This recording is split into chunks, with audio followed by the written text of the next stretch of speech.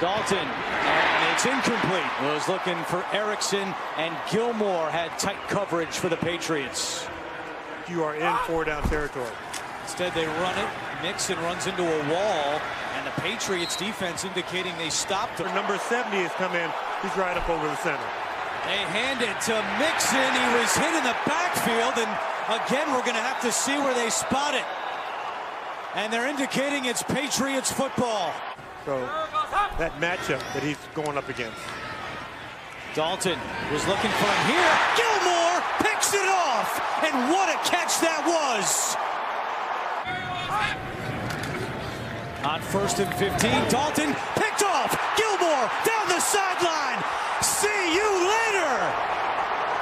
Touchdown, New England. Second pick of the day for Stephon Gilmore. Third and two for the Bengals.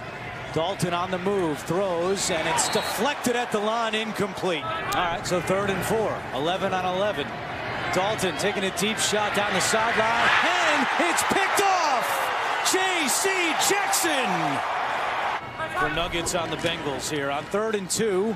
It's Bernard, and he is stopped for a loss.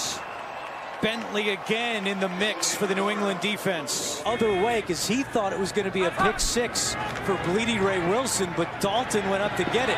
Dalton throwing here and nearly intercepted for a third time. I want to hit Tom Brady for a touchdown pass. Dalton to Erickson, incomplete. Jackson had the coverage. Come through and really protect their guy.